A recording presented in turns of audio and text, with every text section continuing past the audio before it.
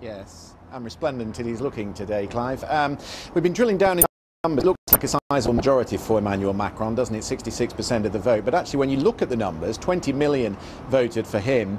But a little deeper in those numbers, 11 million for Marine Le Pen, and then there's 16 million on top of that who either didn't come to the polls at all or cast a blank ballot. So you put all those together and you see that there's still a fair bit of division here in France. So we thought we'd explore a bit of that this evening. We've got right and left with us. Let's start with David Guiraud. Uh, he's from France Insoumise, uh, that's Jean-Luc Mélenchon's party of the hard left, and also Ludovine de la Rochère. She's president of Manif pour Tous, or Protest for All, which was a big movement in 2013 when François Hollande um, legalised gay marriage. Yes. So you count a lot of Catholics within your number, Ludovine. Uh, I would imagine they were pretty torn over this vote. Um, this vote was very complicated for all our um, friends uh, because uh, they know that Macron wants to go on with um, uh, Macron's uh, with Hollande's policy against family and against the respect of children rights to have a father and a mother. So it was so hard for Catholic to to decide if they will vote or not for uh, Hollande, for uh, Macron, sorry.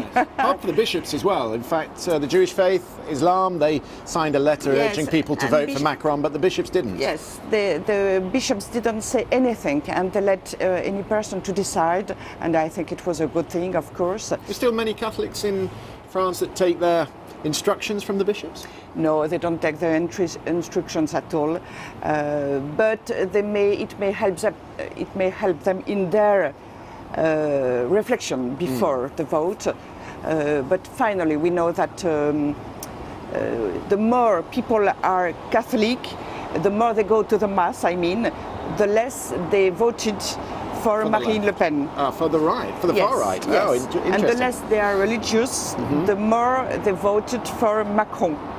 But it was not really their choice because uh, uh, on these uh, family matters is so in contradiction with uh, what they defend for family and Yeah. uh, for uh, right, for justice. And what about you, David? Seven million people voted for Jean-Luc Mélenchon on the hard left. He did very well in the first round of the vote. Where did they go in the second round?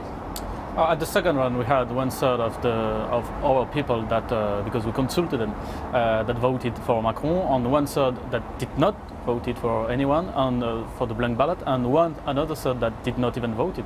So um, we wanted to let everyone uh, express their feelings, uh, because the the thing is, uh, people on Macron uh, said. If you vote for me, uh, it's because you agree uh, to me. And we say, no, no way, that, that's no way. So we wanted everyone not to be humiliated by their choices. And, and we are pretty proud uh, that we organized that actually, because Macron won. Uh, I, I voted for Have Macron. you ever known an election like this, both of you, where you just didn't feel you could vote for either the- candidate? The choice between uh, Marine Le Pen and Emmanuel Macron was especially hard.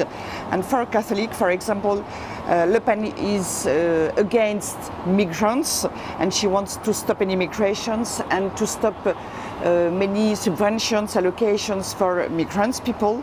And it is, uh, it is uh, the contrary of the Catholic values. But on the other side, for family, Macron is against our values, and that why, that's why it was so hard to choose. And on the left? Uh, for me, uh, actually, uh, in, in my head, it was like, okay, there's someone putting a gun in my head, it's Marine Le Pen, and someone poisoning me slowly. So first, let, let's expel uh, away the, the one that uh, that's uh, sweetening, sweetening me uh, with a weapon, and then I, I will uh, I will fight. But don't you my- both see the- some excitement in this? You've got a 39 year old president, he's got fresh ideas, he wants to bring new people into parliament, new faces. Well, it Surely will that's something to admire, isn't It it? will be very hard. Uh, we must have in, uh, in head that he has been elected with less than half of the voices of the electors.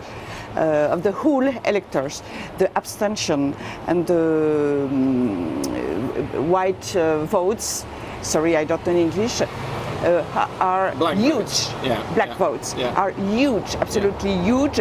So he is elected because people didn't want uh, to have Marine Le Pen, uh, but now he will have to gather to unite everybody. France You talk about fresh ideas. I'd like to know which ones, because all all, all the things he says, I'm, I'm listening that since I'm born. Actually, I'm 24, and I'm, I've always listened to all that stuff. It's exactly the same as before. Yes, and- I'd like to know which side is afraid because we have. I have a strong disagree with uh, with Madame de la Rochelle. The thing is how you organize the dis- disagreement, and our whole campaign has been built around the idea that uh, we need a new republic because we need uh, something fresher and, and to, to have strong disagrees, but uh, not Okay. in chaos. Okay, we're out of time. Thank you both very much indeed for your time. So that's a fairly good example, isn't it, Clive, of the division that there is in the country. Emmanuel Macron certainly has the power, but can he wield it effectively in the weeks ahead? Indeed. Christian, many thanks for that. Christian Fraser there in Paris.